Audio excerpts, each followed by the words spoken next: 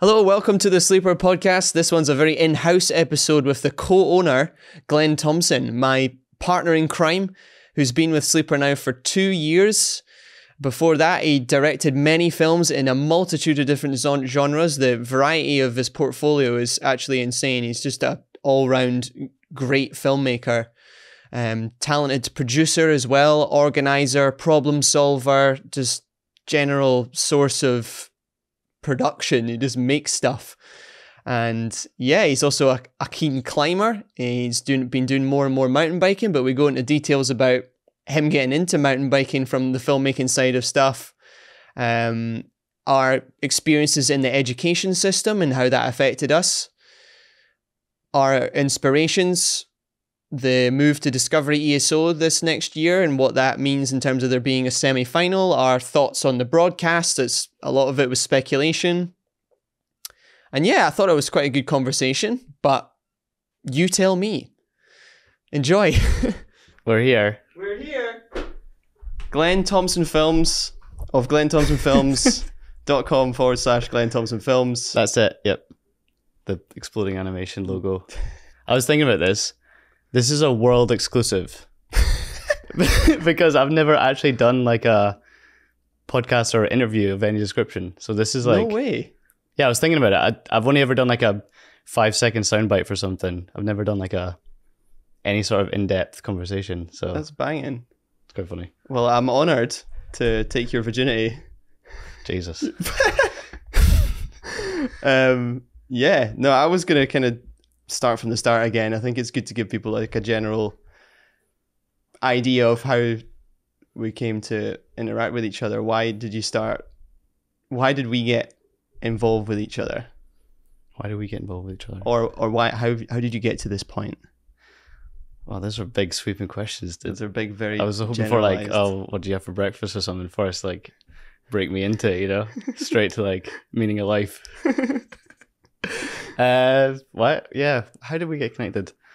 I think it was through, yeah, the the whole when I started filmmaking and doing mountain bike specific stuff. It was literally like, yeah, it was all just for my mates and local woods and shooting mountain bike stuff not because of anyone telling me to, not because I was getting paid for it, but just because I I love doing it, and I think that's what resonated with people who were watching it. Like it just seemed fun and like carefree, and I guess that's what caught your eye with it. I was going to say, what was the first Glen Thomson Films production that you uh, ever watched? It was probably the Innes video, and then I delved because I was like, you "Who's went this guy?" archive. yeah, because in the last one, I was like, oh, you know, you were the only person doing like, like you weren't the only person making cinematic mountain biking films, but you were the only person that was making cinematic mountain biking films that felt accessible.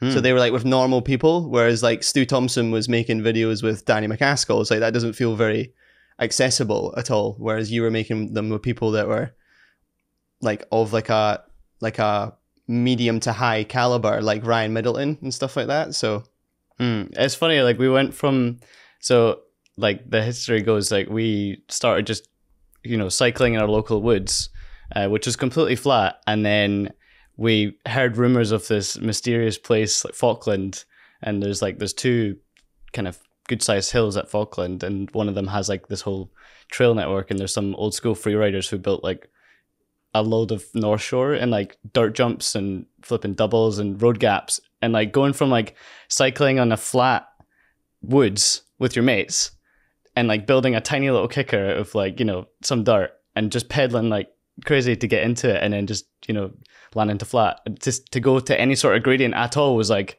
oh shit this is like the next level you know and I remember uh, around about that time, we'd, we'd, me and my mates just all got GoPros. I think it was the GoPro Hero 2. And like, you know, it was that thing in like school, every day at school, we were like looking at it at lunchtime on the computers or go to the library and just research, find like the cheapest like website you could find like a GoPro. Uh, and obviously at the time it was just like, just trying to find like a deal because it was like, I don't know, 200 pounds or something. And that was like, oh my God, are we going to do this? You know? So- this. so we all ended up with GoPros and we did a bunch of like random videos where we're like, you know, we're playing like almost like video game esque style games where it was like capture the flag or something, but on bikes. No way, And, that's uh, amazing. Yeah, so it was like, you know, you got your your two teams breaking up and then one team's on foot and one team is on bike. So as soon as you get onto like a main path, you can like pedal away from the person on foot. But then to to where we had to pick up the item, it was like a helmet or something. We had to like, you know, the people on foot could ambush. So it was all this shit, and we all had GoPros on, and we made these videos where it was just like all of us, you know, with GoPros, and then I like in post like synced them all up because we started recording them at the same time, and then you could see other people's perspective, and it was so funny because it was like, you know, I was like, oh shit, that's where he was. That's where he was. Like I couldn't see him, you know, until he came out and he like spotted me miles away, you know, or whatever. That sounds like we need to do that again. Like, That's sick. that's It was- a great idea. it was uh it was pretty fun. And then you know and then me and my, like uh, one of my good friends from school like um, a guy called fraser he we went up to falkland to scope it out. And uh like we didn't even take bikes. We just went up there and we are like no i think we did take bikes but we were just like on foot because we were just like trying to figure out what was there. And the bottom section of falkland there's some like big gully gaps and big like drop offs and dirt jumps and everything. And so i remember i filmed this oh, this is dead cringy, but filmed this video called the trailer or the teaser, and like I made it like a super like dubstep like sick teaser, and all I did was filmed like the features at Falkland on my GoPro, like super fisheye. it was like the, it was so like hype. It was so hype, and then I showed it to everyone at school, and they were like, "Jesus, this is like, fuck me, this is gonna be nuts." so I made like a teaser, and I just go showed everybody, and they're like, "Oh my god." Uh, This is so funny. So like, and then I think the following week we all went up to Falkland and started like, you know, investigating these trails, and then it and then it came into this thing. It was just like you know we're all just writing and and filming and you know whatever. And I I kind of like took a shine just to like you know doing a bit of writing, but then also like I really enjoyed the filmmaking stuff aspect of it, and it was like my other friend Callum, who was was I'm still good friends with today. Um, he had this um like DSLR camera. I believe it was a a Canon 500D, which is like you know the knockoff or the cheap, uh, the sort of basic version of like the the 5D, which was like Yeah. the And revolutionary there's the 50D, and then there's the 500, which is like the it was like the, the- B-Tech version. Yeah, it was like the super plastic one, like did 720p video or something, and then like he brought that along once, and I was just absolutely loving like just filming clips, you know, all this sort of stuff. Not for any like like like I say, it wasn't there was no purpose. There was no like, oh, I'm gonna get into film. I was like, I'm just enjoying this thing. We had the GoPros first, and then it was like, now we've got the the cinema camera. do the do the tabletop, and we'll get a clip of you casing it, you know, or whatever. Um, and then I just went from there to like building out these edits, and I, I remember I was like, we'd go talk about it all week at school, go up to Falkland, f- film on the Saturday, and then I would edit it and get it out before Monday, upload it just to Facebook, and uh, then spend all week talking about the video, and then plan the next one, go up, shoot the next one, and it was like that for like a good few weeks, and we just made all these like Falkland bike park episodes with, and then the crew just got bigger and bigger, and there's like you know. I think the credits on the second video, there's like 15 people. Like, just all the people from school, like, were like interested in this concept of like coming to try and ride mountain bikes. And like, I didn't know anything about bass. I didn't know anything about the bigger picture. You know, you just start watching stuff on Pinkbike, and and yeah, it's funny how like it was just such a holistic way to get into it. There was no there was no thought. You know, it was it was so good. So yeah, that's how it started, and then it went from there, and it went like then I started getting messages on the videos like from people like you know Innes who'd seen the thing and was like, I want to make a video. Um, and man, yeah, I think who was the who was the first one? So it was like there's one or two people before Innes that I shot with. There was a guy called Mitchell Skeen who I ended up becoming really good friends with. Um, he was like kind of an SDA like Scottish sick rider who had like gone to Europe and like I maybe done World Cups. I can't remember. We had this like sick specialized demo. Um, and it yeah, it just looked dope. And we we shot some stuff. And then I think Innes saw those videos, and then hit me up and was like, "We should sit something," because he was also in in like the Fife like East Scotland area. And um, yeah, what was like with Innes, it was it's it was like this um evolutionary step in writing because we had I had all my mates who we rode with like from school, like high school, and then like filming with Innes, there was just stuff that he'd like spotted on the track that we'd all filmed and knew so well that he was just suggesting things that like I couldn't I couldn't even imagine. So like there was I remember one specific bit there was this mini road gap that was just like a fly off over like a, a forest road. And we all just flew off and landed on the on the thing on the on the fire road because Yeah. it you know a bike length maybe. And he was like yeah I'll jump to like the banking on the backside of the road. And it was like I remember that was like some of the first stuff we filmed and I was just like what? Like that doesn't even make sense. Um and so it was kind of like I was sitting on this you know this edit and I was like this is gonna it's gonna blow people's minds here because like the stuff that we filmed and I was stoked on the shots and everything um so yeah that video was like I guess the first one that I was like really stoked on That was a match made in heaven because I guess the unique thing about you is that you were uh, you were you were into the writing scene and all your friends were into writing, but you like how would you describe your writing ability at that time? Mm. Yeah, I'd say the progression of all of our writing was like quite equal until I got really interested in the filmmaking. Um, and then I would go up and I wouldn't even want to ride a bike. I would just want to film because I was like so excited by learning about that. Um, and so it was, yeah, it was that thing where like, you know, people started just to get better at riding than me. And, you know, the group that I was with, we went out and rode a bunch. And then as I started hanging out with more like, you know, competent riders, then that gap became even bigger and bigger. And then it was like, you know, it would be nuts for me. Well, it felt like it would be nuts for me to like go and ride with Innes because he's doing this shit that like it's so far like out of comprehension to compared to what I was doing. So it's like I yeah, I almost didn't have that focus on riding and that sort of like created that separation, which is interesting. But you, that meant that you were willingly and happily honing in that craft of filming, Mm-hmm. whereas simultaneously, like I was still doing both. So your like sort of style of filmmaking got like super refined, super quick, but you had this perspective where you knew what the writers wanted to see, Mm. and that was why it worked so well. Like it's just important to know what to what to look for, and you like you, you had the vibes.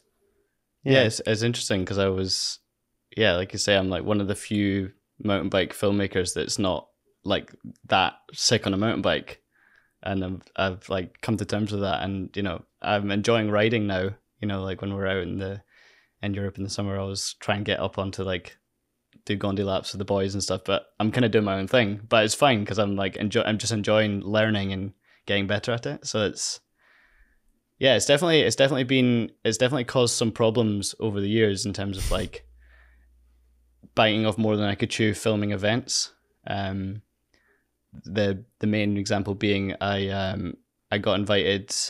So I'd, I'd by this point I'm we're skipping forward through my years a little bit, but like by this point I I'd been invited out to film the Trans BC like six day enduro race. Um, and like I say, I hadn't been riding very much, and I got this opportunity to to go to Canada to like film this sick event, and I was like, this is going to be so good. But and part of doing that, you needed to like ride a six day enduro, which like by anyone's standards is pretty fucking hectic, and to go from to go from like not really riding, and I remember like I was like, right, I'm going to get an enduro bike, going to train, got an enduro bike, like you know, through some of the people that I worked with, and then had like about two weeks and I was just like out every evening trying to get better at riding. But how much better at riding can you get in two weeks, having not had a trail bike for like several years, you know, like and then going immediately into this, you know, intense situation where you have to film and you know ride with a backpack, like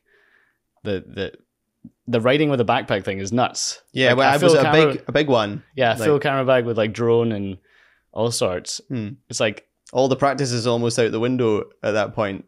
So that was yeah super challenging, and then uh, yeah, flipping ended up breaking my leg, which was pretty hectic, and that sort of was like a bit of a uh, a big moment in in my life in terms of like going from just you know making films and then breaking my leg and then trying to find myself as a person like going to university and stuff and struggling with that. And it was a bit of a dark time. And um but you know i managed to get through it. And then i think that's did I meet you before that trip or after that trip? That's what I was trying to remember. What year would your spectacular? Was it an over the bars? did it wasn't even an over bars. It was like it was the flipping.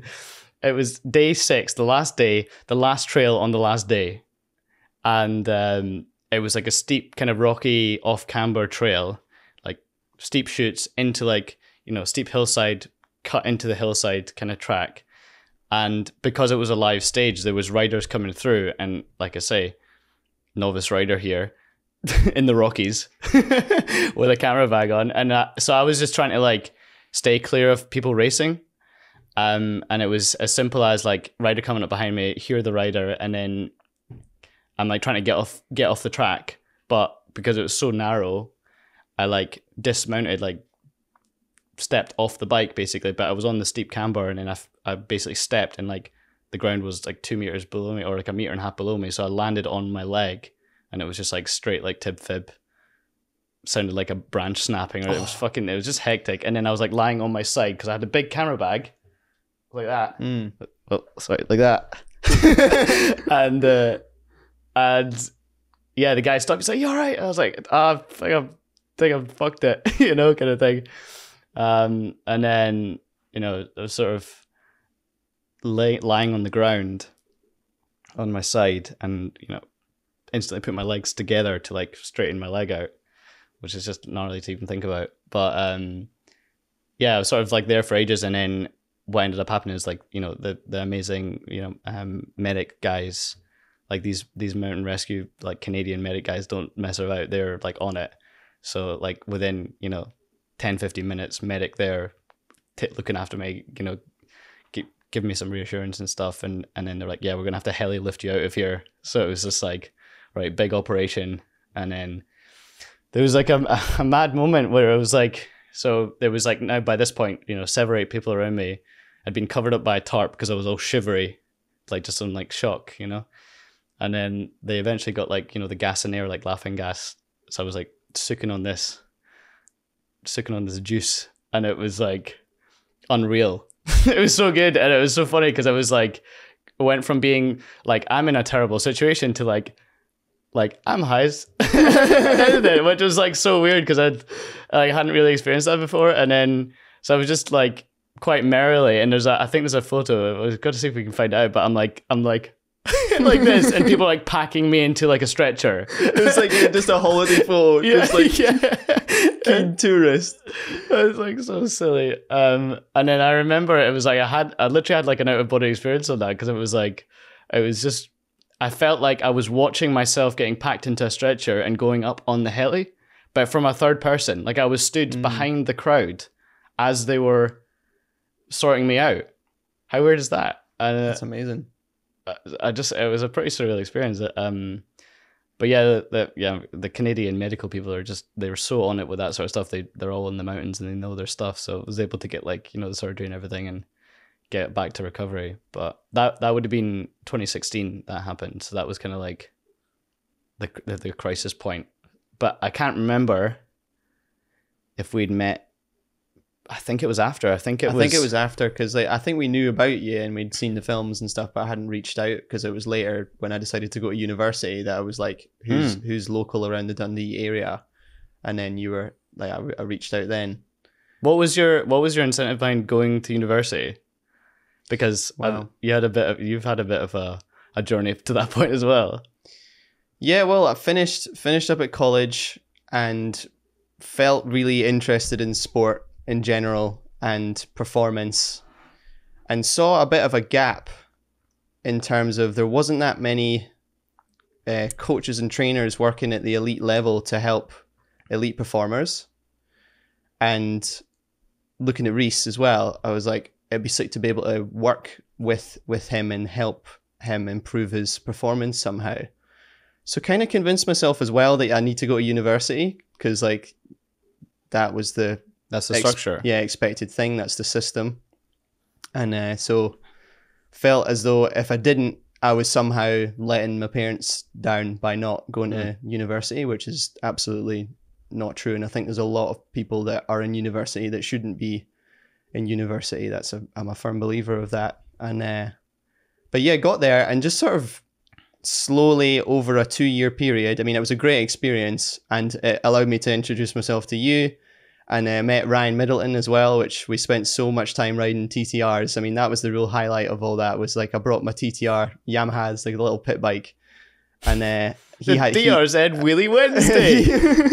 he had a I was hyped on that video. Yeah, and just yeah, super silly like um razzing around with Ryan, like literally as much as we possibly could. Like I absolutely ruined that TTR over that like two summers, you know and uh, I was the only person in the student halls share, sharing a flat with eight people, shared bathrooms, and you're like in a shoebox sort of yeah. thing. Like it's a brilliant experience in a way because it shows you how a different a different standard of living, I suppose. And uh, you meet that, so many. Is that like social calibration thing? That again, yeah, it's like, and I, I was in a flat full of gamers, which I was a bit of a nerd and a gamer, and I felt as though in a way like I fitted in with them and we were all just nerds and and uh, we would play a bunch of pranks on each other in the hall and it kept it entertaining. But there's a lot of drinking and a lot of you know as things go in university so yeah it's a lot a bit of a roller coaster experience but the best part about all of that was meeting Ryan and your and yourself and making those connections. Whereas all the people I met at university I never clicked with anyone. Like I met I remember meeting you and being like I think I told you at the time I was like whoa that's just sick to talk to someone with like a similar mind because like mm. I was around all these people and I'm not necessarily saying that they were like not smart or interesting. They just weren't the same. They were people that wanted to be PE teachers, people that wanted to be work in the public sector of sport. And the whole course is not wasn't what I thought it was. Like I thought I was going to be learning about elite level biomechanics and like slow motion video and pressure plates and that's the stuff that I was like that, that's quite interesting. Um, but it just wasn't it just wasn't like that at all. It was they were pushing you hard towards the public sector. There was this one day it was absolutely terrifying because the you as a, like a module you got allocated a random school in Dundee, and if anybody oh, knows no. if anybody knows Dundee, they know that it's it's rough. Like the the majority of it is is pretty is pretty rough. It's a beautiful city, stunning city, and the center is absolutely stunning as well. Amazing culture, everything like that. But it's rough. And I got one of the roughest areas um, as my little allocation to go and teach kids football. And if anybody knows me, I hate football. like I don't, I, am terrible no. at football. Actually, I like playing football now for a laugh, but like historically in school, I was always picked last for the football team and stuff like that. Like I've just got these connotations with football. Um, and uh, I was just tasked with teaching these primary school kids football for a day, and they were just rowdy kids that were so hard to control and I hadn't even thought about like controlling a class of kids that age. I thought about working with elite athletes and it was terrifying and like to, to control kids like that when you're a substitute for the day they were running riot and I had to send one out and stuff and you know like try and like assert my authority but like I had no idea and then eventually got them in a, in a way they were they were just kind of kicking balls around and having fun relatively within control and just sort of ran that out but anyway the course wasn't for me. So one day I remember it was a slow, slow sort of burn of like sitting on my computer at night making videos or playing video games. Like I played MX Simulator a lot and I would listen to loads of podcasts um, and lectures from like Alan Watts and really into Alan Watts and Terence McKenna at that point, like deep into their lectures. And I just sort of realized that I was learning a lot more sat at home on my computer than I was at university, and I was absorbing way more because I was actually interested in it. And then you would go to university, and then like they're just they would be teaching you about something you just wouldn't care about, and just again pushing you towards something you didn't want to do. So slowly start to realize like if I've got the internet, like I can kind of do whatever you can do whatever you want. Like mm. there, there's no reason for you to be in this structure so I've got to say, just there, like with the with your listening to those lectures, I feel like that was something that informed your early style of filmmaking because mm. you almost wanted your your kind of initial niche or like style was you know really cool writing, but like with a bit of psychology or philosophy inserted like use it was almost like hip hop style like use of samples and it was just super creative. And uh, I I remember like when you started doing more film stuff, I was like pretty inspired by what you're doing because it, it felt so like, you know, it just felt free. It wasn't like trying to I was getting really dialed into the cinematic. Every shot has to be perfect, and then I see what you're doing with your, you know, more like hip hop, like kind of punk style videos, and I mm-hmm. was just like, that's so cool because it, you know, I hadn't seen that before. I was like, that's a totally different way of making a film. Like it's not go out and you know just simple narrative with like cleanest shots you could imagine, coolest, coolest. Obviously, the bike riding is really good and the shots are really good, but like in terms of like a message or a, a thought provoking thing, that wasn't what I was interested in, in the beginning. Mm. And it's like I felt like that was where you started, which is really interesting. Yeah, I kind of had like almost like a like a, a complex where I felt as though if I was taking people's time, why was I taking people's time? If I was making you sit down for even if it was 10 minutes, like I kind of almost overthought like compressing as much of a meaningful message into that period of time. So like over time I've sort of gotten less intense with that, but I do love that like deeper meaning, bigger message, something that's woven into it. And uh, yeah, I think sometimes it worked, and then other times it felt quite forced almost. Um, not everything needs to mean a whole lot. That was like a is like a more mature realization that I that I Mm. came to. But that's again, I, I that's why I think we work so well together because those two styles like they make that's the that's you need both of those to make a really really good film. Mm. Um, Yeah, I felt like I was I'd gotten so far down the path of you know clean shooting and everything, which was great, and then that was very commercializable, and it meant that I had a lot of like, you know, business opportunities within filmmaking to like shoot you know events or, I mean, there's so. There's I've done so many different kinds of videos and I've met so many brilliant people, but it was it was like, I felt like, um, I got, you know, like I said at the beginning, I I really started this thing because I I wanted to do it and I wanted to like make things for my friends, and then I got dragged, like turning your hobby into a business drags you into doing work for like other people and not necessarily doing what makes you happy, but then you're getting paid well. mhm. So you're making all these films over here, you know, getting paid well, covering events, you know, all this stuff.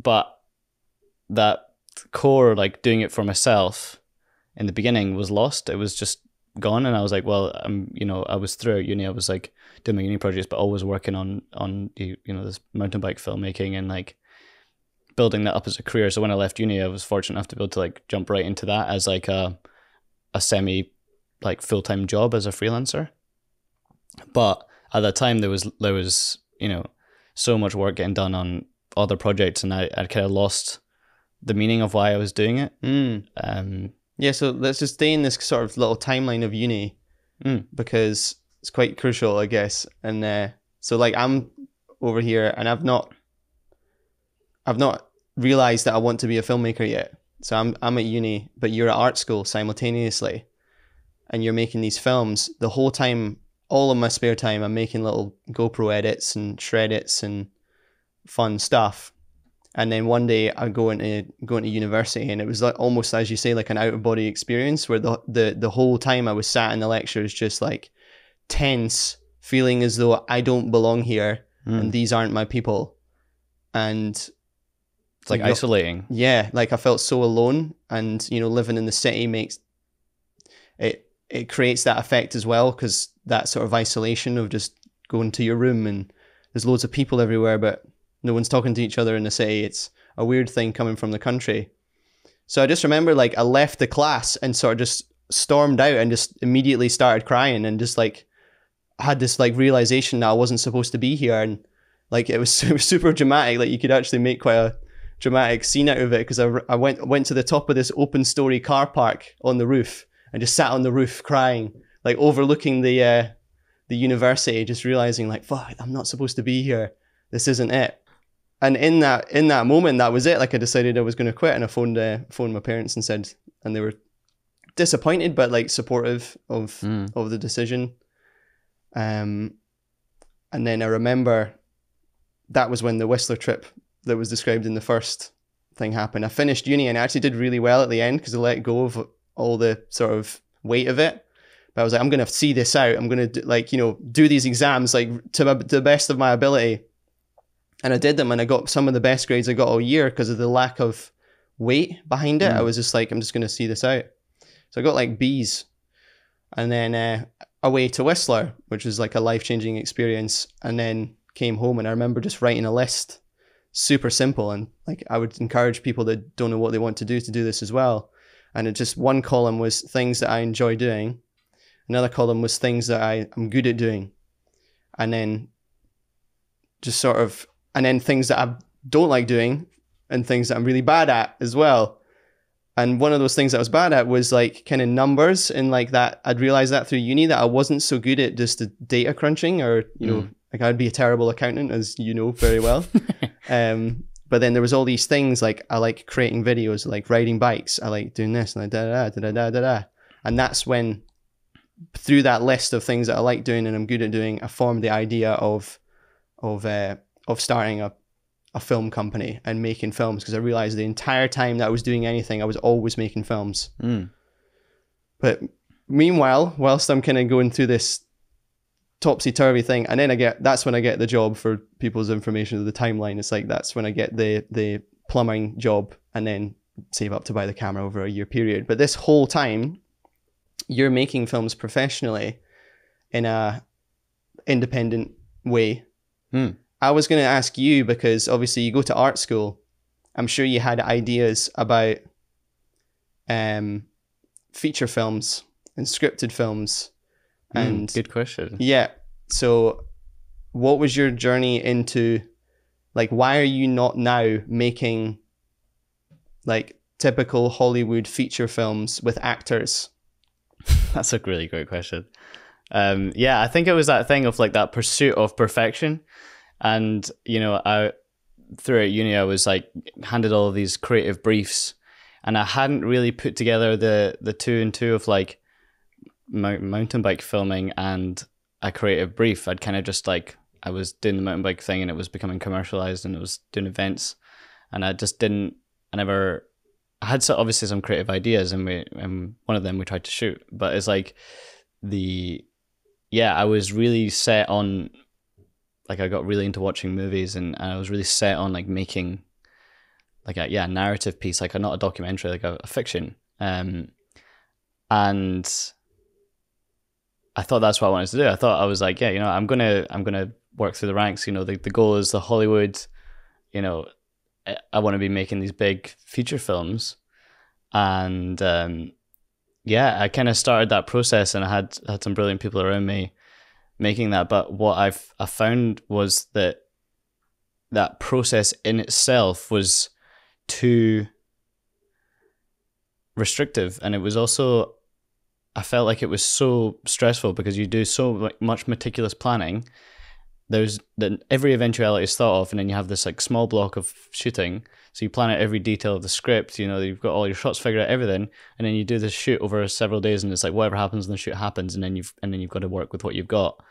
And uh, and it's a weird thing. I almost thought that like at that time, being a documentary filmmaker was a cop out. Mm. I was like, that's not the real good thing. Like I thought, I because I maybe I hadn't watched that many documentaries or didn't really perceive the importance of it. I thought the fiction was the thing, and so I was like, really trying to like force this fiction narrative into a style of filmmaking into into my life, and it and it took me trying to do that really hard for me to realize that that didn't make me happy and it didn't I didn't get anything out of it. Like yeah, I made a couple of kind of fun little short films and had a great time doing it, but like it was weird. I don't know when the, the change happened when I was like, you know, actually documentaries are pretty good. You know, I don't know when that happened, but it, it was a slow process for sure. And it was a lot of like self doubt. And because I'd kind of set that goal of like, I'm going to do feature films, like I'm going to do write stories, like script and direct and that stuff. But then a lot of those skills are transferable into documentary and like, and it can be, you know, you can craft a story out of a documentary. I think at the time maybe I just thought like, oh, you just go and film what happens and piece it together later. But like as you get more into it, you you start to realize, okay, I can actually think about what story I'm trying to tell here, and you can make it almost into a bit more of like a narrative, like a premeditated narrative, rather than just like go and wait and see what happens. You know, um, I think maybe I just didn't know that. So that was like the sort of yeah the transition, I guess. Um, So Yeah. in in art school, you you said that that was quite like a life changing experience. Like, what was it like in general? Like, what was Mm. Well, What- art what- school. I mean, yeah, I went to art school and I met some, like, some of my best friends that I'm still really close with today. And through that, like, I think at the time I was again just just like, it was almost just like I didn't really know what art was and I didn't understand it and I didn't identify with it. And the only reason I kind of went there was because it did like a there was like an art film course and I was like, okay, that's like, you know, local enough to me that I can do my stuff and and still like see friends and family but then also study film.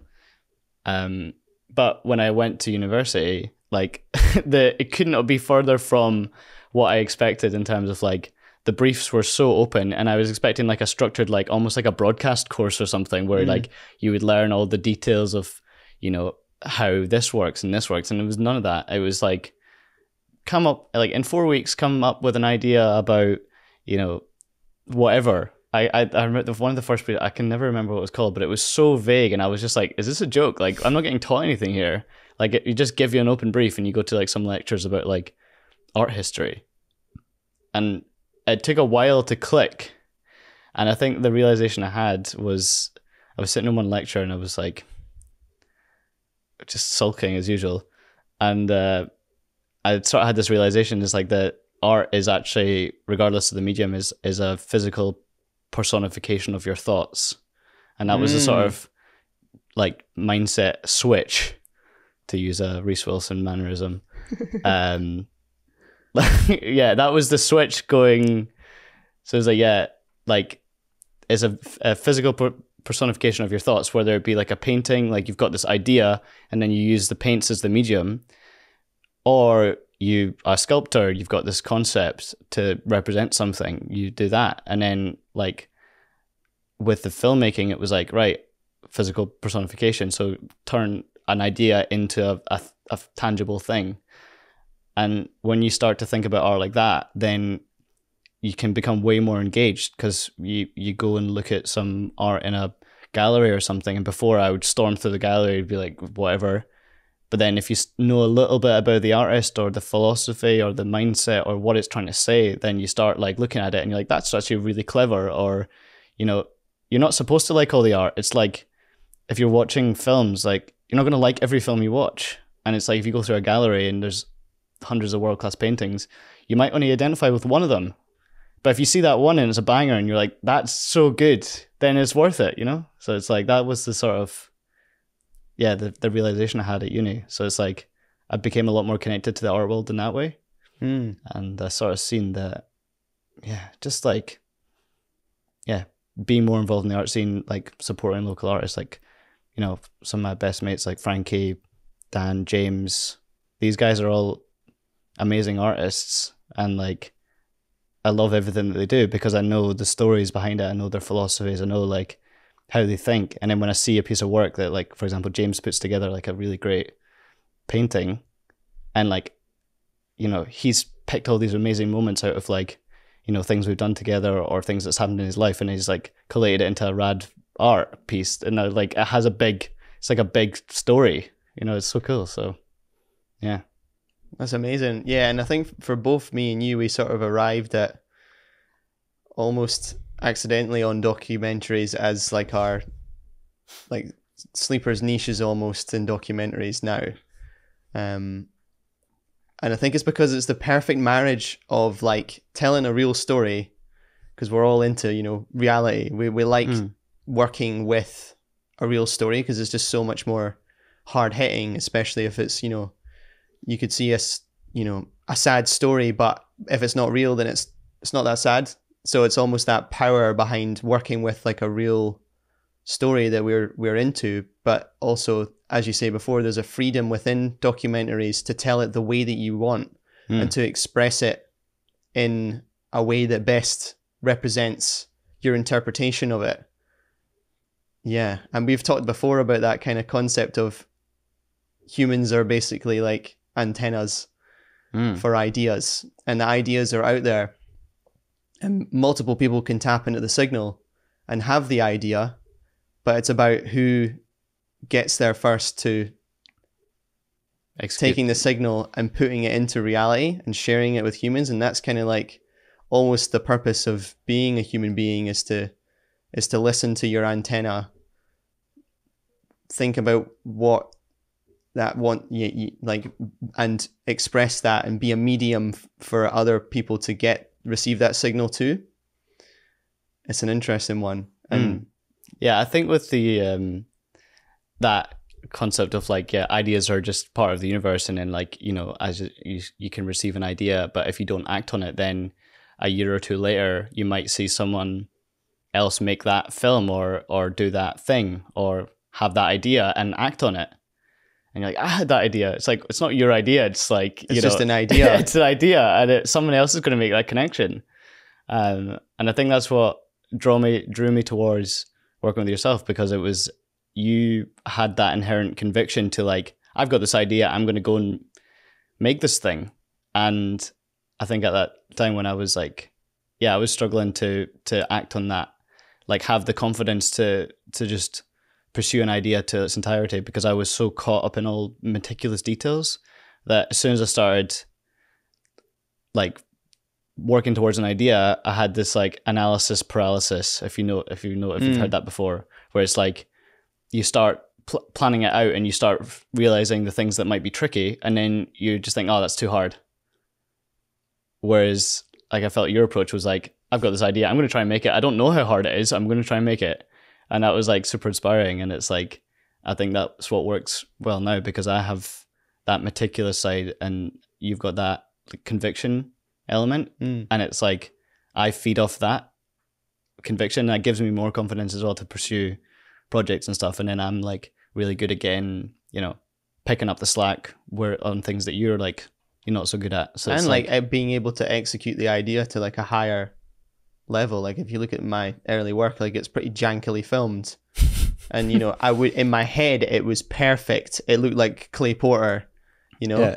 so that's why it's amazing to work with you because y- we get closer to like what that idea is in the head. Hmm but now our, our ideas are kind of a little bit more shared and like our our goals are since we've matured are almost like they're they're collective ideas rather than it just being one person. Hmm like we between me and you and and harry we all decide what we want to say and like and then go move towards that as a team. And that's just so much more powerful because it's it's more important when multiple people think it's important you know?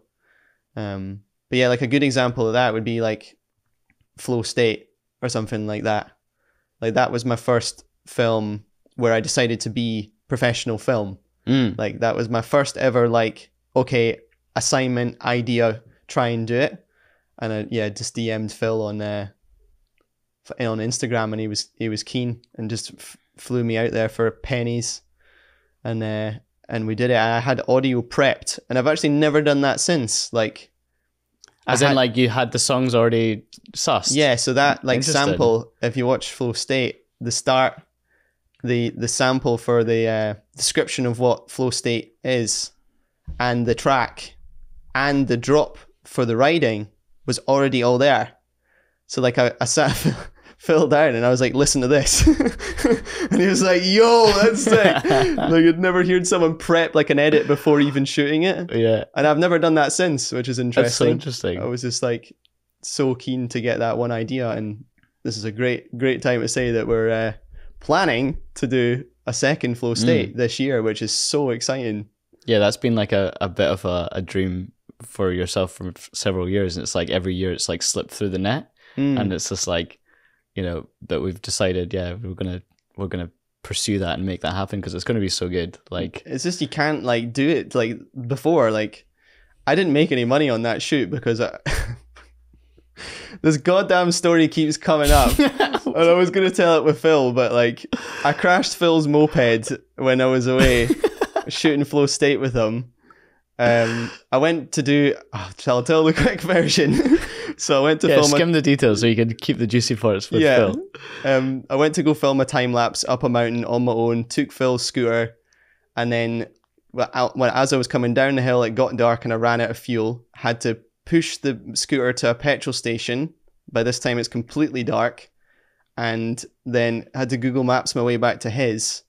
Missed the stop sign and got sideswiped by a a car. Rolled onto the bonnet, smashed my head off off the bonnet, broke his broke the windscreen, and did a couple of tumbles in the air before then coming to a rest. And there was just Phil's poor zip in absolute bits all over the road. He, he had No. like stuff under the seat, like tools and wrenches and Yeah. you know loads of bits and bobs that over the years for using that amazing zip. RIP, RIP the zip, and it, uh, it was never the same. Like my flip flops were in like one was in a garden twenty meters that way, another one was in another garden over there. Um, and then like a few days later, we were in Maribor, still shooting flow state, and uh, like I felt like I had internal bleeding, and uh, went to the hospital. I didn't have internal bleeding, but it damn well felt like it. God. Um, that was gnarly. So yeah, I nearly died for that film. but anyway, what were we talking about before that? that, that was you were just saying like you, you you made like we couldn't do flow state two the same way because yeah, no making no money from it. Yeah, so Cube like last minute said like, oh yeah, like okay, here's some budget. You know, they clearly hadn't allocated it for the year or whatever, and it was like it was like 250 quid or something for the for the whole film. And uh, then I got some more because we decided to take continue on and take me to the to the Mm. World Cup. So they they kindly threw in a little bit more, and it came to like 400 or 500 quid. And then I just bought Phil another scooter because I'd crashed his scooter. So the whole thing was like a net a net negative um, for for profit. And yeah, it's just like as soon as you start to grow things out and work with people and you, you realize that that's just not possible. So yeah, as you say, like year on year, it's been like let's do another one, let's do another one, and uh, we've never uh, gotten the situation to where that was possible in our current.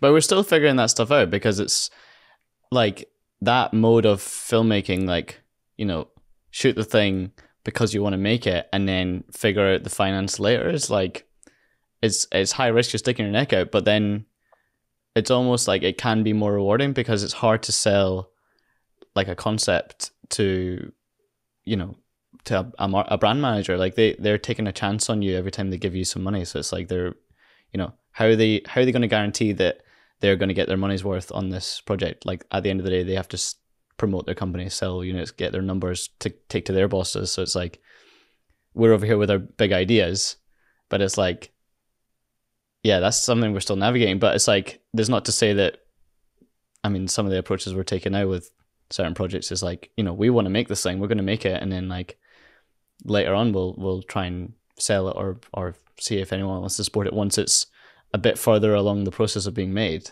um so there's, yeah there's no one way to like run a run a I guess a video production company. There's like yeah, you can do it in any sort of way. But luckily with the Phil project, like we've got some we've got some he's got some brilliant partners and is yeah, it's all kind of getting planned out now. So very excited to to see how that develops um in the coming time. Yeah, Um, I've, I've got a couple of just really mad questions. Okay, hit me. So, what is the greatest mountain biking film of all time? The first thing that came into my head, honestly, the Connor Fearon in the no video. No way! By Mind Spark. yeah, Yeah. that was my spark. That was like in terms of just the cleanest Never seen a place. yeah, like the this. cleanest, like just sickest Yeah, writing, execution of filmmaking. Like, okay, not a huge story, but it was a writing edit. But like that, that was like big inspo. That only was only a filmmaker would get so excited about uh, static shots Yeah, because they're all like most of them are static, right? statics, and then there's this like you know like two thirds of the way, and it's like this long shot, and he dips out of frame, and then they rack the focus to like foreground, and then he comes up through frame like doing a big steez, and you're just like, oh god, like they That's must have amazing. planned that out. You know? it's like that. That wasn't by chance. God, I've watched that a lot. It's such a good edit. Like it's and it's that thing is like you know I was. I al- even though I wasn't doing much mountain biking, I was like so in the, the mountain biking community. Like I was, you know, Pinkbike was a huge, hugely competitive thing for me. Uh, I wasn't racing SDAs, but I was going after the bots. I bods. a, I had a physical altercation with Pinkbike. I, I wasn't doing the local races, but you know, better Bob Dollar. I was trying to get a flipping video of the day, And for people, you know, who don't know what a video of the day is, it was it was this silly thing where Pinkbike did like a little spot spotlight on like a cool video that had been uploaded to the site, and they also had a picture of the day.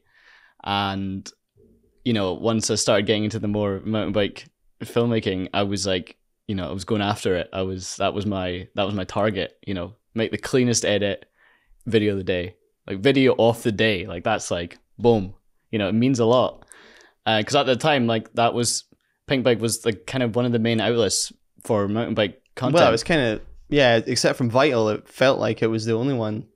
The Pinkbike audience for me was was so um you know, so much like more active and, you know, I'd post something on Pinkbike and it would maybe get, you know, five, 10,000 views. But every single person watching that video is a mountain biker. Mm. So in terms of how I thought about that in terms of YouTube, it was like, I'm getting a lot more like meaningful views and comments because people are actually mountain bikers. And this video of the day, like it kind of, at that time it was peaking because all of the good videos, mountain bike videos were uploaded to Pinkbike. Like that was just the thing to do. Um, or yeah, Vital as well. I don't I don't want to just uh, discriminate. I know, but yeah, Pinkbike had that integration there. The comment section, the the the native video uploader. Um, they had the articles you could write, and you could upload some photographs, and then you had the chance to get it on the homepage. And like, yeah, I I think also the reason it was Pinkbike as well was because we were all buying and selling our bikes on Pinkbike, which is another brilliant aspect. service that they So yeah, they, uh, so like for me, it was like Pinkbike was the was kind of the website, um, and so yeah, with this video of the day thing, and I was like trying really hard, like every edit I'd upload it, I'd try and like take some pictures as well to make a blog like I'm writing a blog post and poor like Pinkbike news, you know, the guys are probably receiving this like. 16 year old kid like trying to write like an article about a video he made and i was just like i made this video uh, at Falkland you know, whatever Yeah. but yeah, it was one of those things, and it was I never got a video of the day, so like it was you know this unreachable target, I was- and I was it was in the back of my mind all the time. You know, when I was I was like, is this the one? Is this going to be the video of the day? And it was the Ryan Middleton, Callum McGee. T- it was Two's a crowd. We're gonna need the high res for that to play. We're Like, gonna- I we're gonna love need- that video. so that that video was really oh sorry my laptop's doing things um hang on. the that video really was like you know my flipping magnum opus of uh of mountain bike edit at the time like i was like i'm i'm gonna and i remember we shot this over like four or five days and and i was so in the details of the edit it took me like six months to edit that thing did six months it's like Yeah. a two minute video Oh, I remember Ryan complaining. uh, a Ryan, man. Hey, he's, he's filmed this friggin' edit, and he's The clips won't be good anymore. yeah, because he was like worried that that is a thing when you're a writer and it takes so long for something to get released that you feel like you've moved past it and you've gotten so much better that, that you won't be able to watch the clips anymore, yeah, sort of thing. I totally understand and empathize. And I was just so, like I was saying, I was so in my head at the time, every detail, you know, and I would edit it and re edit it. And ah, it was like a, it was painful because I was expecting this video to be so good. You know, the expectation was like, dang. Uh, and I was like, what if the clips aren't good enough? And it would take me so long to even watch them because I was like, what if- Scared of watching yeah, them. I was like, I've, in my head, I'd built this up. This is the video of the day. Like the pressure is enormous. I know some people are doing like World Cups and that, but like, pff, you know, like Video of the day. in my head, I'm Yeah. like, this is like, this is world champs, you know. There's stripes out there for me, yeah. and uh, yeah. Anyway, like managed to put the video together finally after Ryan badgering me probably every day for about six months, and um, yeah, it's pretty good. but what it did get was video of the day. Yeah, And that was Can you remember when you like found out that it got video of the day? I I don't know if I can remember the day, but I remember it was like pop. It was popping off. People were liking it. I, I think it uploaded to YouTube as well, and people were really stoked on it. I was stoked on it, I- and like song was banging, everything was good. And then I think it got video of the day, and I was like really stoked. I was so just delighted because I was like, there we go, that's the goal, you know. And then the cherry on top was so beyond video of the day you, there's video of the month and then there's also video of the year Hmm. Um, and obviously, I my first goal was video of the day, but like you know, I was like, I'm never gonna get video of the d- year. Like the, those videos were like Brett Rheeder, like at Crankworx Semenuk. winning or whatever, Yeah. or Semenuk or. So I, I had I hadn't really thought about that, but I ended up getting video of the month as well. So it wasn't just a VOD; it was a VOM. Yeah, yeah. I remember that. huge. So yeah, that was my um that was my big that was my big target when I was coming up in the game. That was like, you know, that was my first big win in this space. That is amazing. Um, Yeah, that like Pinkbike was the was the was the place to be. Me and Reece used to sit in school. We would be in school, and uh, just refresh the videos page because he had like home videos, photos. Yeah. Just refresh the videos page. So we'd be watching some obscure edit from like in the middle of Canada somewhere, and someone's built like a sketchy offshore thing and made like a like a sketchy edit to it. Just couldn't get enough, and uh, yeah, there was so many discoveries through that, and that was it. So how do you how do you feel now that we're like, because it's almost like you do video of the day, video of the month, but now we're generating Pinkbikes like premium uh, documentary series. So how does how does that feel? Have you even have you even thought about it? I have reflected on it a little bit because I remember this goes back to like you know catching up with old friends who I I used to ride with, and we used to like nerd over Pinkbike, and then you know telling them that oh yeah I work for Pinkbike now, like you know we're we're making films in partnership with Pinkbike. Uh, it's it's quite surreal, you know. Like um yeah, like early friend Callum, who I'm still good friends with today. Like he, I remember telling him, and I just think he was just like, man, that's so sick. Like you've made it, you've done it, and like you know, you you kind of just you you forget that like, imagine telling. 16 year old kid like oh yeah in, in five ten years you're going to be they're going to be your client yeah, it's like that's nuts. Like I couldn't have imagined that. Um, it's a, yeah, it's a, it's it's it's kind of mad. It's wild. Like I, how do you feel? Like you must feel you must have a similar sort of thought. Like it's all happened so naturally that it's not felt like I've gone after this target and I've worked so hard for it. It's just kind of like one thing led to another, and now we're we're here. Like it, it, wasn't like pitching for months and like battling for years to get this contract. No, it, it happened almost instantly because of Ben Cathro, and uh, yeah, just made a. I remember approaching him, just had nothing to do. Thought I want to make a video with Ben Cathro, so we made the. It's called uh, Downhill Savagery. That's a banger. yeah, it's on uh, it's on the Sleeper YouTube, and uh, it's just him riding his bike and talking about the new V10 and stuff like that, and uh, made that. And then a few months later, I thought Ben's really good at coaching Mm. there there isn't really that many good coaching videos and i was like surely Pinkbike would be interested in some coaching videos so Mm. then i phone him uh, get his number and phone him and he's like oh yeah oh yeah sounds sounds good but i've got a better idea i was like right what's your what's your better idea he's like do you do you want to come and film me race world cups mind, I was like, you, mind blowing. You joking? yeah. He's like, I'm going to return to World Cups. I'm going to return to downhill racing. And it was weird because I phoned him, but then he had this idea. So it was like, why? You know, he'd never approached me, but I picked up the phone to talk to him about coaching videos, and he was just like, Nah, we're going racing. And then that That's was it. amazing. That must have been like, right. Yeah. That's a change of plan. life, literally life changing. Yeah. And then that was like that was walk the talk, and Yeah. Christ, yeah, what what a life changing roller coaster. Um, and by this point, we're not really sort of like directly involved with each other. We're talking to each other all the time, and I think the idea had been talked about of you coming to work um with Sleeper, but you were working for um Was it Cut Media at the time? Or was it? I think it would be Cut Media because you'd be in, in Glasgow. Mm. And a few times Yeah. I came over at your house and was just like, "You need to sack that off and come work with me."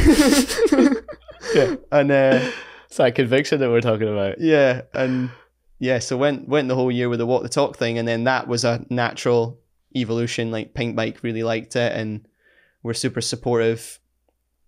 And then the Pinkbike racing thing happened, and by that time you're you're fully on board. hmm Yeah, I think what happened was it was like the the Walk the Talk series, and then it was we did the the little intro skit. You know the the heist sort of make, Yeah, the, make yeah, like the... the- crew coming together and like Reece's dad's workshop and uh, just the get the biggest smoke machine you can Yeah, buy. yeah, more smoke machines. More smoke. I'm pretty sure we have a group chat called Smoke Machine because it was do. just so much smoke. Um, Peaky Blinders, like inspiration. so funny. And then yeah, like there's the there's the Easter egg that I'm actually in that video, but nobody would know. I'm in the background of one of the shots, and we planted that because I'm I really am the sleeper of sleeper. Like, if you look closer, you'll see me, but Yeah. I'm you know I'm Yeah. always like lurking, Yeah. just scheming in the background. um, so that's like quite funny that I'm like in there, but yeah, I think it was the following year you you were like was it just was it because you started doing more of the coverage stuff with Ben, and then there was like that year that I came on to do the to the first season that was twenty Mm-hmm. Um, but I don't think there was a, a race a race diaries like doco series planned. Mm. It was just coverage. We didn't do any bigger doc stuff at the time. Um, so it was just like coming to the World Cups. But then you know during that time we'd also kind of like planned the, to do to document Reece. You know, and I think that was part of the objective as well. It was our idea, like, you know, Reece is coming back off the back of being world champion. What's his year going to look like? You know, and, and we'd missed the boat on doing a story about Reece's world championships. So it was kind of like, right, well, what's next? What is he going to do next? And we were just interested because it's like, you know, like it- like it says in the, the Flying Scotsman film, like he'd won both times he'd competed in 2020 that being like world champs and then qualifying of the next again round before crashing. So he was like feeling good, but then he had this bizarre, huge off season. So we were like interested to film that, and so I think maybe that that was part of it as well. Is like you wanted to wanting to have a focus on that, but also help with the coverage. What was Ben doing? Was Ben not racing and just doing coverage? No, he he rode a couple of times. Remember, he got like a equality and snowshoe and stuff. I know this is probably just dire Yeah. chat for the for this going to get cut Yeah. thing, but we're just kind of like Like he was racing, but there was no series to go with it. Mhm. Ben's Ben's racing, and then twenty two. It was like there's a team. yeah. They're good- Pinkbike are planning to make their own race team, and it was just like that was kind of a. Somebody commented it on the Jamie Edmondson video because it just seemed like anyone that Ben helped did really well. you know, it was just like fortune was was uh, was on uh, on our side. So yeah, Jamie Edmondson came on and had a podium, um, with us helping him out, and everyone was like Ben should have his own team, Mm. and there was a few of those comments, and then I found it interesting that Ben didn't really. He was like, "Oh, it's just luck. Like, just put up a easy up and just let them crack on." But like, there's an untangible thing with Ben when you hang out with him. You, it, eh, he's just so. He makes you feel at ease, and he's so supportive, and he, he listens, and it's like you you know what you see in the videos is is what he's like. He's he's very like. He's got this amazing aura around him. He he just brings this like playful, fun, laid back element to everything like and you always have a funny conversation with him and he always like has a little joke or you know and it's i think there's there's something to be said about you know as much as he was just stuck on easy up up like being with jamie edmondson like you know having a bunch of scots around jamie must have in his head put him at ease like you know i'm just racing with my mates like it was back home it's like that there's something to be said about that i think totally, it's going to be cool to see what Jamie gets up to this year. mm. um, with his new with his new program. hmm Wish him all the best. That's he's had a bit of sort of string of bad luck and it's not quite put it together the same way. And Yeah, I uh, remember speaking to him at one of the last rounds, and you know, he was just talking because everyone's like talking to brands and stuff like that.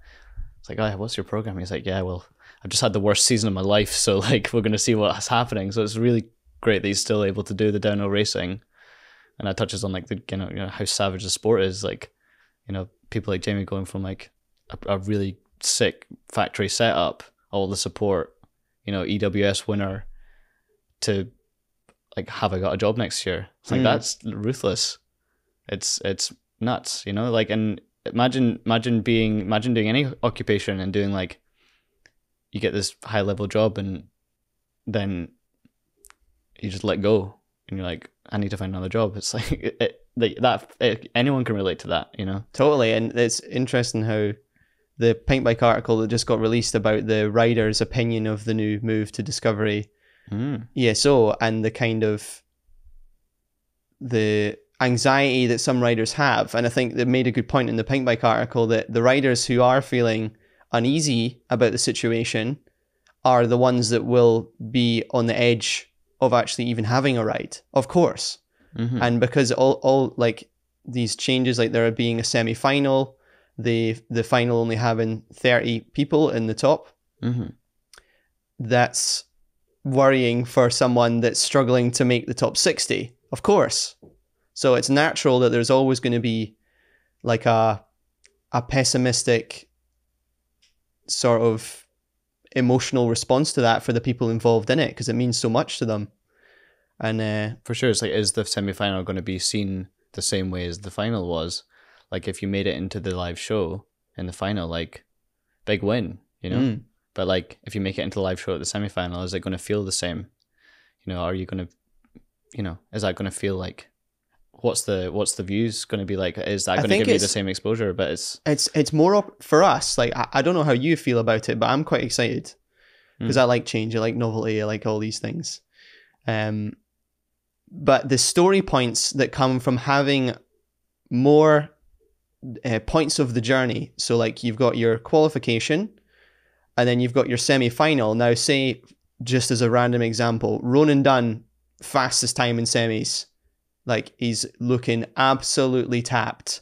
And then in finals he uh i don't know snaps his chain at the start or something like that. It's that like oh he was like his time in semis was faster than the time that Mm. won finals or something like that. So there's more like oh it could what could have been you know so that in terms of storytelling and everything like that and the the more coverage and the more footage that's going to be of the run is something that excites me as a Mm. filmmaker and a storyteller missing any part of the and I think Red Bull did a fantastic job and hats off to everything that they've that they've done but that moment in 2020 when Reece won uh, Worlds and there was no footage of his race run that's kind of unacceptable when it when it comes to like e- elite level sport like that's so unhelpful for for everyone like that's that that does not help the situation at all that was like a waste of an opportunity to tell that story and to elevate that that uh, moment and therefore elevate the sport potentially so to But what what was just to give people context? What was the reason why there was no coverage of race Reece's race run? Yeah, well, they like Red Bull have to deal with X amount of riders qualifying. They can only film so many. So Reece qualified way down. Mm. He had a terrible qualification run. So you just you just passed the quali, so he was like you know within the top sixty, but not near the sharp end. Exactly. So Right. when you switch on the live stream, you you start, you know, at X rider. You don't see everyone before, but then you might see them on the hot seat. Yeah, yeah, So that's that- true. And then they maybe play a highlight or something of Yeah. like the previous.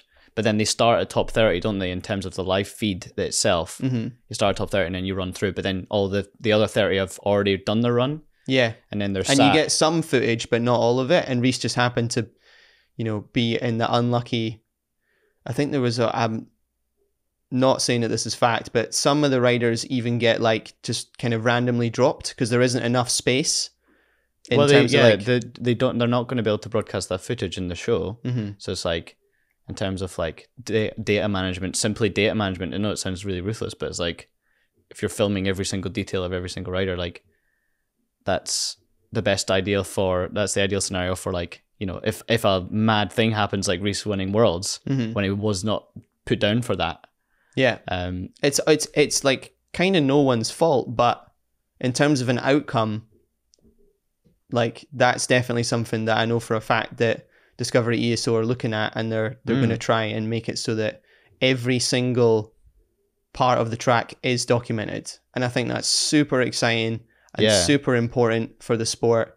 But that means, as a result, that you have to uh, make the field smaller because there isn't enough time to show everyone's run from top to bottom.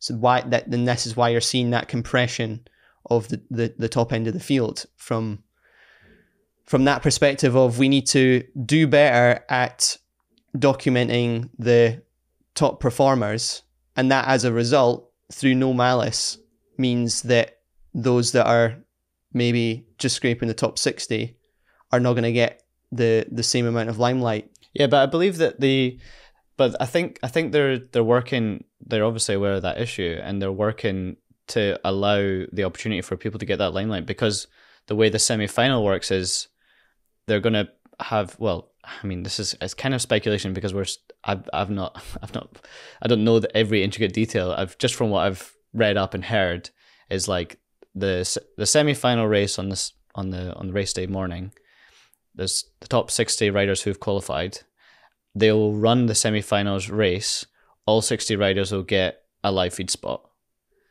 then that that might be a compressed version. You might you might not get every shot on the hill. Yeah, but, But you then- might get like, oh, this guy had this moment. Yeah, but or- then but then like in the in the finals later in the day, then you go back to that you know more Red Bull style top thirty riders get the finals show, and so in a way, I feel like you might the, those top sixty riders might get more coverage because like we said, when Red Bull switched to the top thirty riders, you don't see the previous thirty, you never saw them. You maybe saw one or two clips, but whereas if they've got a whole morning to show the top sixty riders, in their entirety. I don't know how, how they're going to program that with like the timing and stuff, but okay, maybe you only see half of the shots down the hill, but still, you're still getting more time for your, you know, your unexpected riders or your riders who are like building up to to get breaking that top twenty, top thirty. Like they're still going to get their semi-finals moment, Mhm. and then the top thirty finalists will get a full show of finals, every all the details, etc. The question comes like how I know they're they're trying to balance out the points at the moment with like having um, semis be quite high value in points. So how is the audience and sport going to perceive semi final? How important are people going to make it feel? Like, are they going to want to watch the semi final because it's going to be like a lot of action in there? And I think that's what they're doing with the high point system, like to make people want to watch the semis because then you know, like, man, he had a bad run in semis, but he can pull it back in the finals. But then you know, it's over. It's basically like a two run race instead of a one run race. So there's also does that take away from like the spectacle and the the drama of one chance, Mm.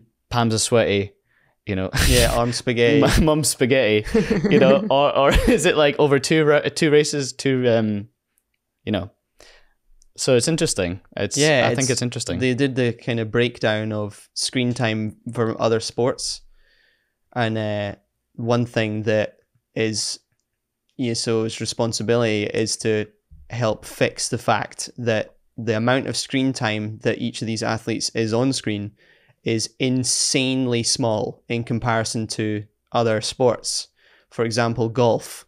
You imagine how long a golf athlete is over a live stream is on screen no helmet. no helmet, personality shown, t-shirts, sponsors, clubs, all those things are on screen. Tennis compared, match. I think it worked out in mountain biking. So it's like, it was like half an hour. It was like twenty six minutes over a year. Wow. Now I'm sorry, that's not a good sell.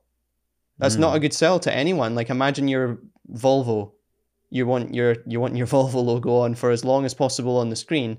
26 minutes over a year period is not a reason to invest all your capital into.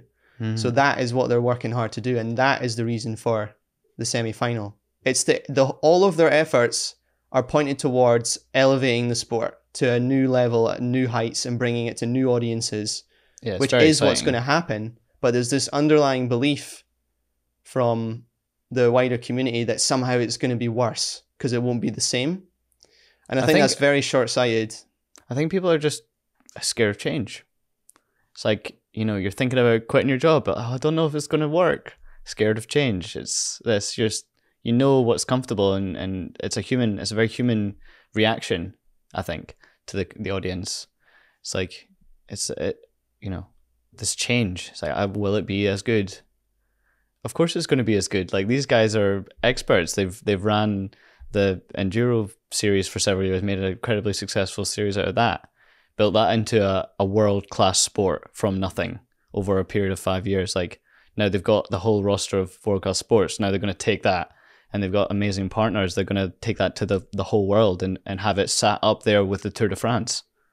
I think that's, it's really going to elevate downhill mountain biking, I think. It's going to turn it from this niche sport into this mainstream like almost like downhill ski racing Like I was watching the the ski Sunday, and if anyone's in the UK and, and is interested in skiing, like they they'll know ski Sunday. It's like a, a, a like a recap show of the races that have happened on Sunday on the BBC. Everybody that I know who's interested in outdoors and sports watches ski Sunday. They've got the iconic theme tune, and you know that's skiing.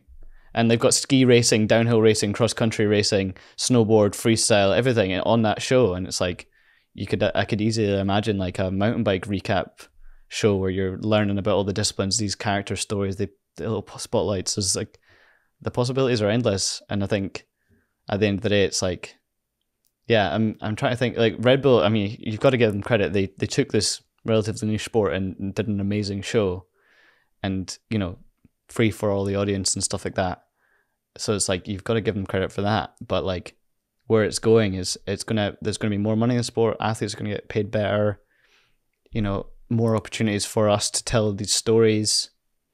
You know, and it's it's going to turn it into a, a bigger sport and, and be better for everybody. I think Yeah, that's the vision they've got, and that's what people are worried about. But it's like, you know, once it starts happening, then I think it's going to ease the tensions. Totally. And, you know, the lack of communication was definitely not helping as well because they're so busy setting everything up. Like, They've got so much on their plate. yeah, and a, and a lot is is still it's fluid as well. Like, there's still ongoing discussion discussions to do with points. There's ongoing discussions to do with protected rider status.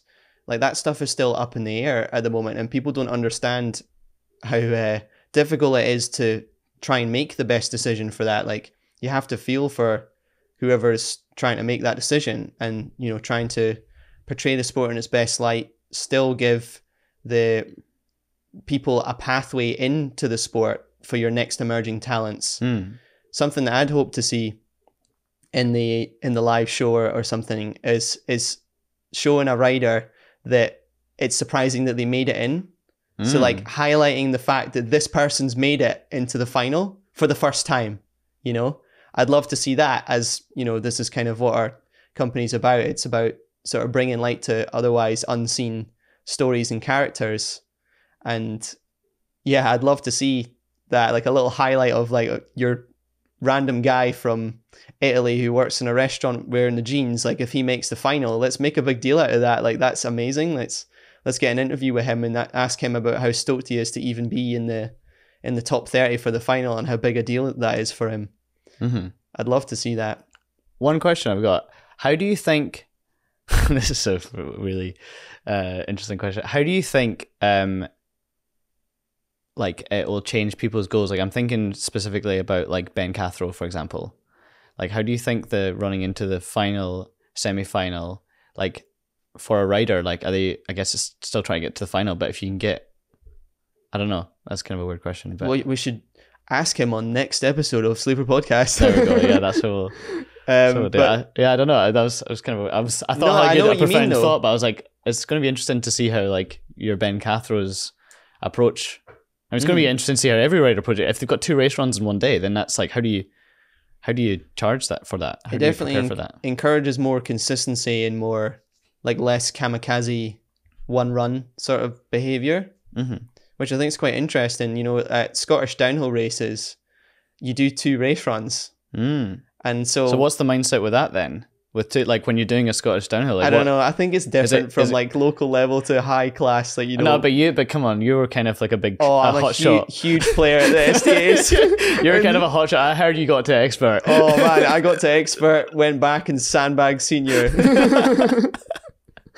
um, no, but at that level, like for me at least, like you do your first run, and I'm like amping because I'm like I need to do that again. Like I didn't get that perfect. Uh, yeah, yeah. So I'm ready to go again because it's that's the first time that you, you practice, and I suppose they do have qualifying as well. But like that semi will be the first time that they try and put down their hottest time, hmm and everyone, every rider will find imperfections in their in their run, and so to have the opportunity to go again, I think is quite exciting. But some of the riders are seeing it as they're just making us do it twice.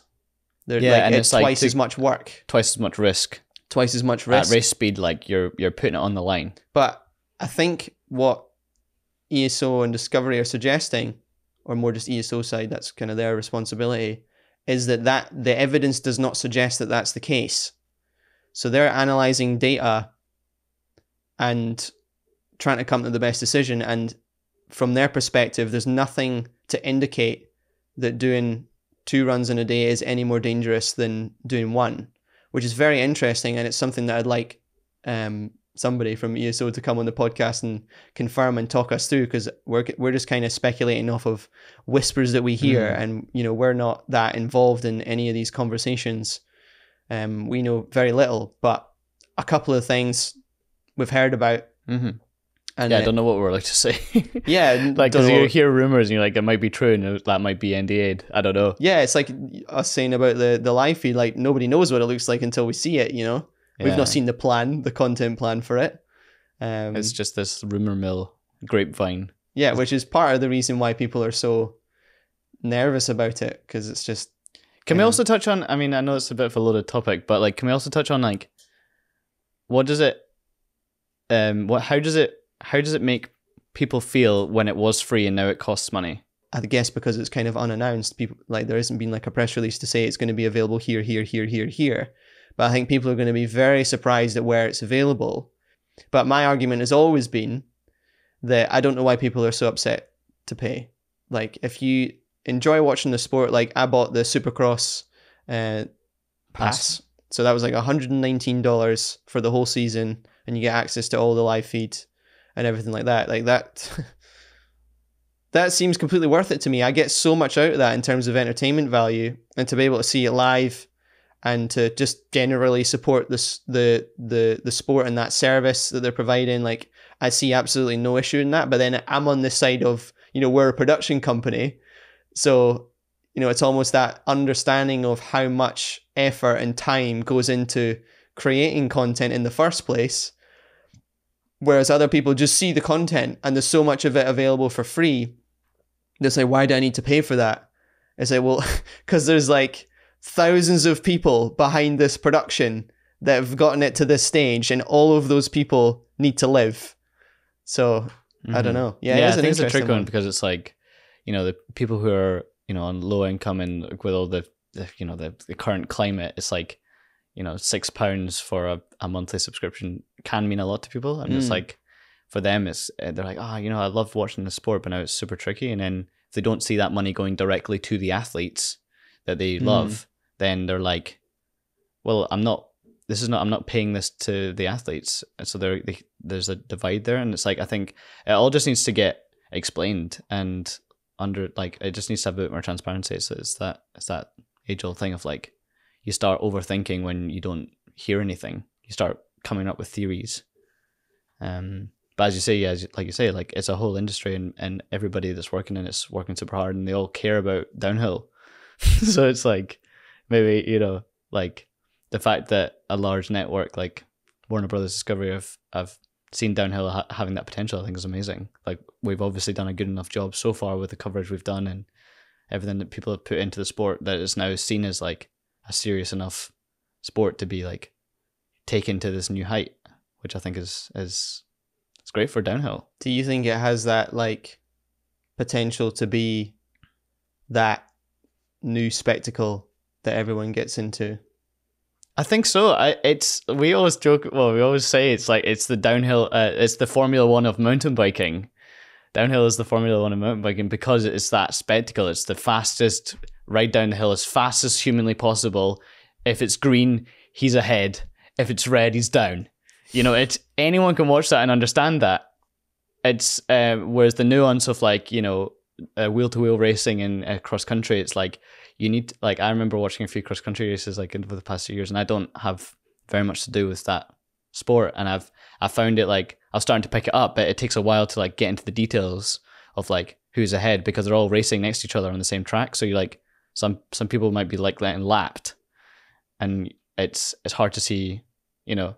Well, I don't know. I don't want to talk down on yeah, talk down on. I'm just saying what I was trying to say is simply that downhill is quite easy to understand and it's a spectacle. and it's currently being viewed less than cross country, and that people from our perspective we don't understand why that is. Yeah, I, well, I think it's the it's like it's the most it's like a niche extreme sport currently Mm. that is, you know, cross country is in the Olympics, downhill isn't in the Olympics.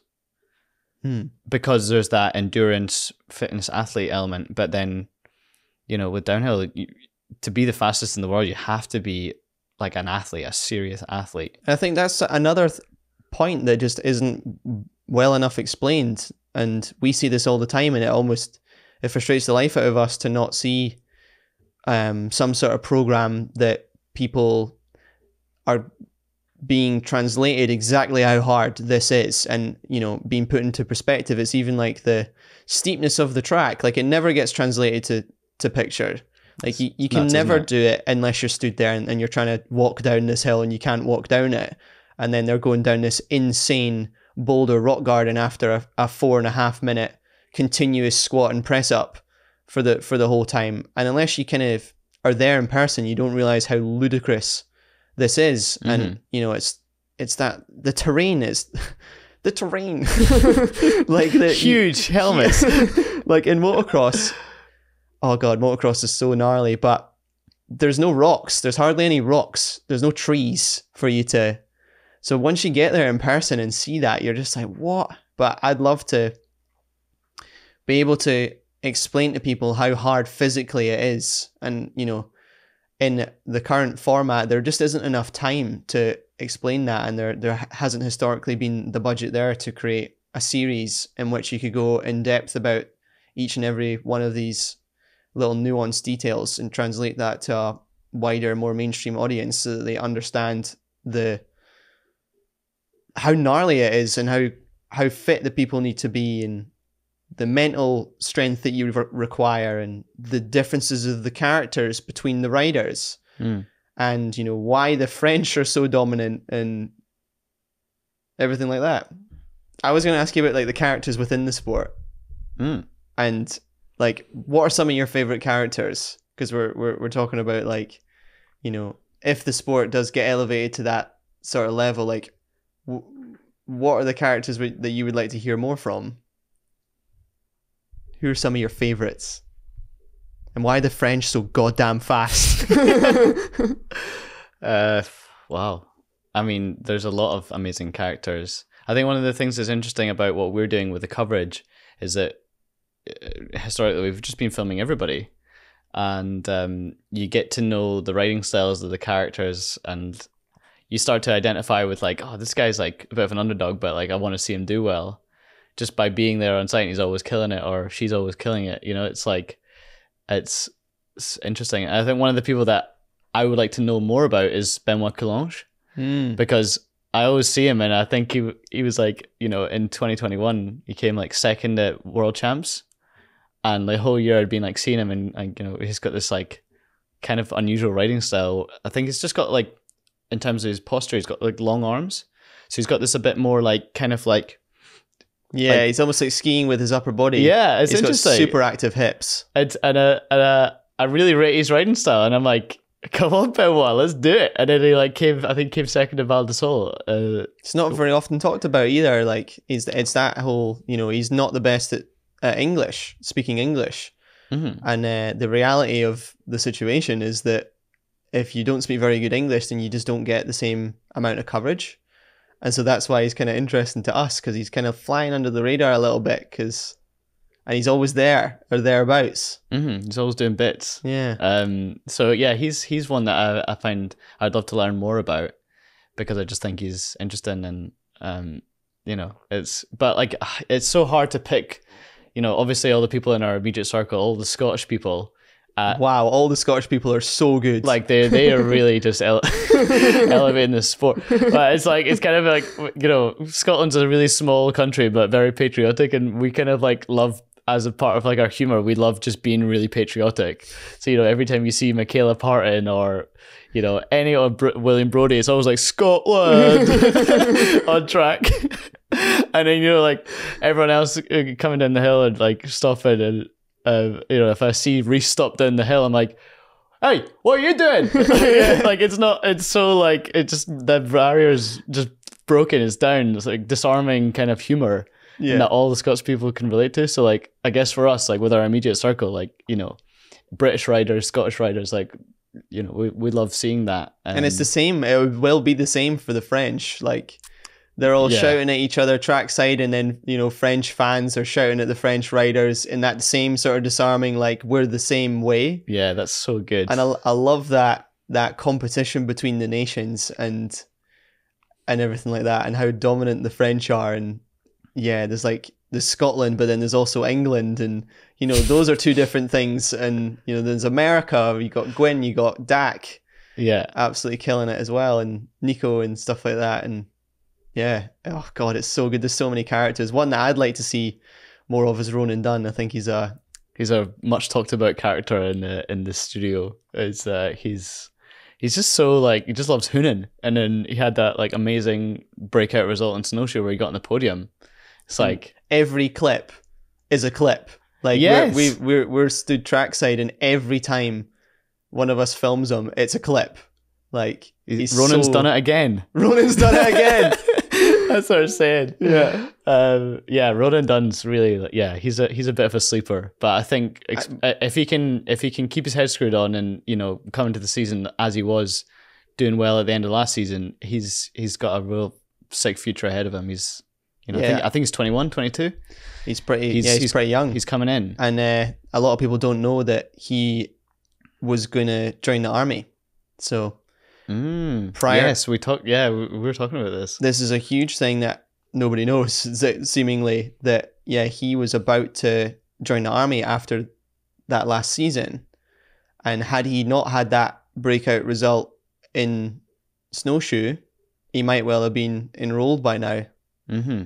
And Yeah, I think that's in the towel. fascinating, you know, like so somebody with that sort of mentality to want to join the army and then bringing it into downhill, I think that's that's fascinating. Like he's, I'd love to hear more from him, and I've I've not talked to him enough to even understand more about his character, but he's an exciting prospect. Mm, yeah, Ronan Dunne for sure. No, and uh, I- we've got to talk about the Amy Kenyon, um, what's her name, Valentina Roa Sanchez battle that's going to happen next year because you know in obviously we we really we're all about Amy Kenyon. Scottish first off, most importantly, the unicorn, and she's had a really amazing breakout season with Pinkbike Racing, but going into next year, all of her competition, the top five girls, bar one, are moving into elite. So your Jenna Hastings, your Izabela Yankova, um, who else have we got in that sort of Ross swath of Phoebe Gale? Mm. They're all moving into elite uh, females, which opens up the junior category a lot for Amy and also uh, uh, this other junior Valentina. And I think there's going to be a, a sort of Jackson Goldstone, Jordan Williams esque battle. And it's, I, th- I don't know. I think it might get heated. That's amazing. I'm putting it out there. that's amazing. I don't know. Have you thought about this? No, I've not until you until you sort of brought it up. Uh, that is I think that's because like when do you you hardly hear of junior racing, and I think what was so cool about Jordan Williams and Jackson Goldstone is like that was heated. hmm, There was there was I don't know if I'd call it beef, but there was definitely competitiveness, tension. like serious competitiveness between the two of them, and they were head to head all year, and it was just amazing to watch. And Mm. like it's so cool that the juniors are getting. I think are are they getting a broadcast? I'm not. I'm not sure. I can't I can't verify or deny that, but like yeah, especially with the you know with the these junior girls, like you know the female side of the sport is getting the, it's getting so much more competitive every year. It's like there's got these the splits are getting shorter and shorter. You know, you don't see people winning by 20 seconds, 10 seconds anymore. It's like within the men, there's like the top 10 are within a second or two. And I feel like within a few years, the women are, it's going to be the top 10 are within a second or two. totally. with all these amazing riders coming up. There's It's so going to be so many more younger prospects now coming through in the female category, Mhm. as you say. And yeah, there's that kind of like top end of the Cami Balanche, uh, Myriam Nicole sort of battles that, that go on as well. It is really, really exciting. Yeah, it's going to be good. I think the yeah the female racing stuff is like, it's yeah it's cool. It's really cool to see, and I hope that continues to develop. To linger on the new ownership of the sport a little bit, the I'm really excited about the implications of reaching new territories of the world. Mm. So at the moment, or with Red Bull, they weren't reaching Japan. And I'm a huge fan of Japanese design and just Japanese everything. I just think it's such a cool culture. So now I think we're reaching Japan. And again, like this feels like more speculation that can't be confirmed or denied, but I believe that to be the case that we're going to reach Japan. And I don't know, within the next five years, like, are we going to see a, a Japanese rider come in that maybe was riding motocross, BMX, something like that, that sees the sport for the first time as a result of the the sport reaching new territories and comes in and maybe a Japanese manufacturer um, rhyming with Yonder. Yonda will would like to come back in. You know, I'm a huge fan of Honda. I've, I own a Honda, and uh, That's amazing. Yeah. yeah, that's That would be exciting. Yeah, it's like like, the the possibilities are endless with this. You know, with the uh, getting to a wider audience, it, it, the catch net's much wider, and the more brilliant people get interested in it, the the more it's going to pop.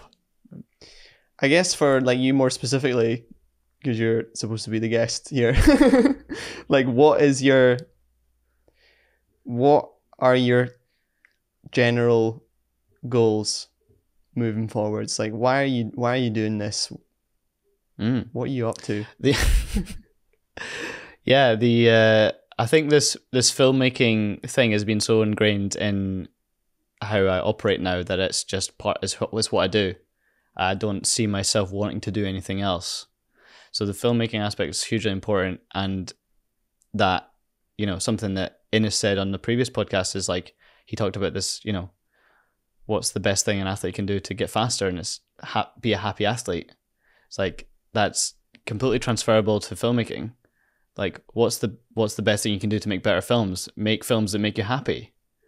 You know, make films that have meaning. Make films that mean or you know have significance in your life or or for your friends. Like we we were making this.